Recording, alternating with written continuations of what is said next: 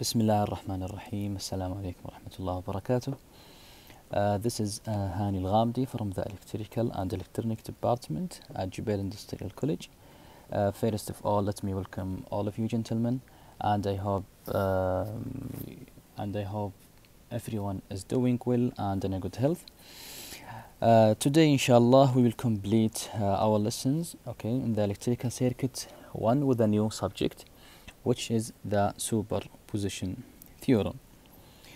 Okay. We need to know what is the superposition theorem and where do we need to apply this theorem and how to do that. Okay for this lesson inshallah we will try to record maybe two uh, or three videos okay covering all the needed materials.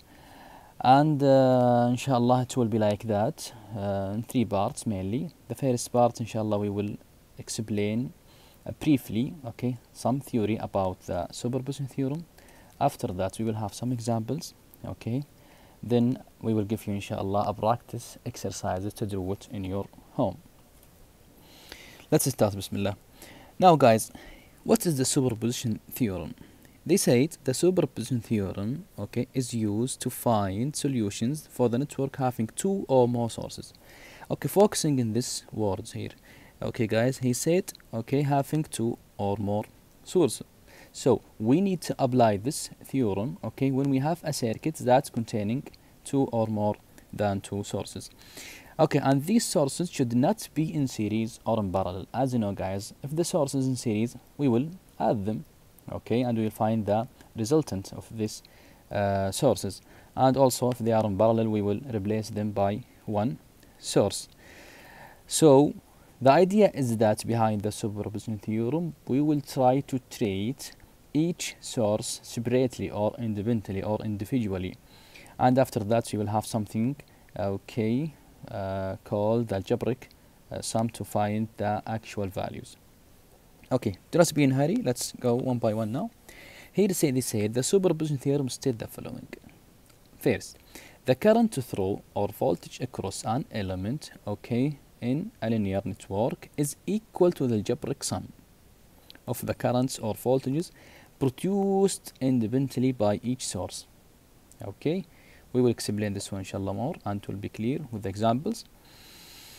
Uh, then he said to consider the effects of each source independently requires that one source remain and other sources are to be removed. Okay, let me focus on something here, guys. Look what he said. Okay, so one source should remain and other sources, okay, are to be removed from the circuit. We will tell you how to do that, inshallah. Then what he said here, he said to remove a voltage source, okay, to remove a voltage uh, source, the difference in potential between its terminals must be zero. Zero it means short circuit. Okay, look to this one here. This is the voltage source. Okay, and I need to remove it from the circuit.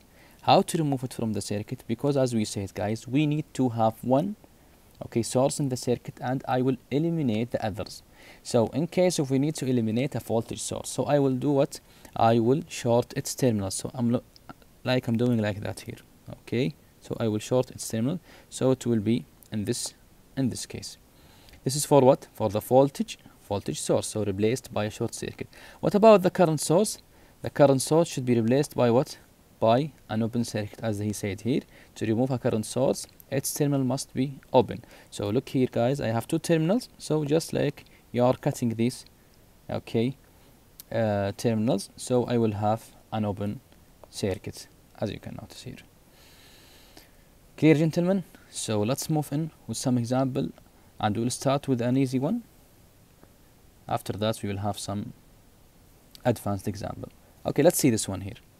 I will use different colors, okay, to just distinguish between uh, using the sources.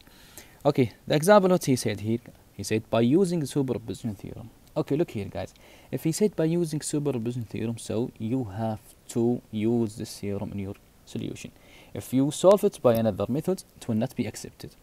Okay, gentlemen? So he said by using superposition theorem, find the current I, I1, which is this one here. Okay, through the 6 ohm resistor which is the R1 of the network shown in figure 1 below. Okay, look to this circuit here. I have two sources, okay, voltage source and a current source here. So, again guys, remember these three or four steps with me.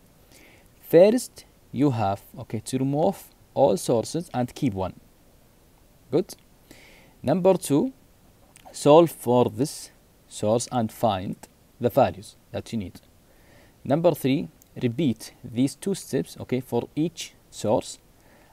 Number four, okay, add these sources together. Or let's say the algebraic sum for all the values. So again, if you need, just pause the video and go back and listen it to them again. Look here guys, so I will use the blue marker, okay, or the blue color, let's say, for the voltage source. Let me remove this from the circuit here, okay, and I will use, okay, the other color, which is red maybe, or black for the current source. Let's start with the first source here, guys. So, what I will do, I will keep the source, hmm, okay, okay, I will keep the source and I will remove the current source. So how to do it? Let me okay make partition. So let's start with number one here. We can say number one why not?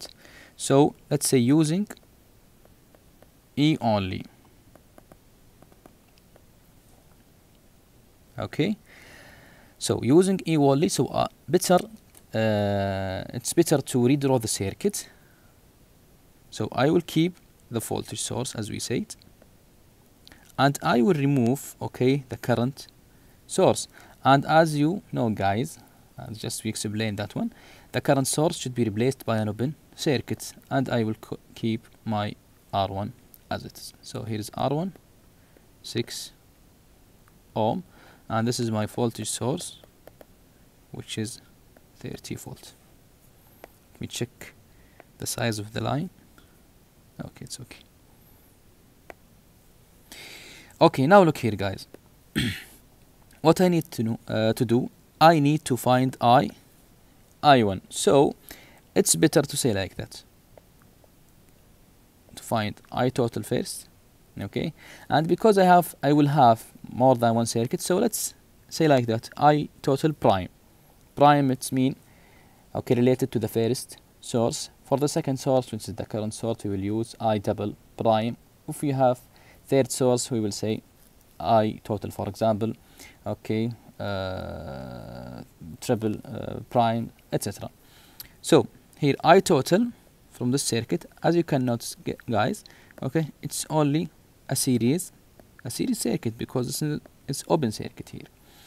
So i total it will be what? It will be e over r because i have only one one load which is 30 over 5 the answer is what sorry. Okay it's not 5 it's 6 so 30 over 6 the answer is 5 ampere. So I1 prime it's what? It's 5 ampere. Okay let's use another color so this time here I will have my current source and I will remove what? The voltage source. So number 2 I only. I its mean I source which is the current source. So I only I will this time keep the current source from the main circuit and I will remove okay the voltage source. And how to remove the voltage source gentlemen? As we said okay we will short its terminals so I will have my resistor here. And here is my current source. And for this one I will short its terminals okay so here is 6 ohm which is R1 and here is my I source which is 3 ampere. Okay this is the current it will move from here then it will keep moving here guys. It will not go for this side. Why? Because it's called short circuit. Here I will have a short circuit and the current will pass from the easiest the easiest path. So it's clear here that i1 double prime okay because I have uh, two uh, sorry yes two sources. The first source is i1 prime and this is another source i1 double prime. So it will equal what? Zero zero ampere because there is no current okay uh, passing through r1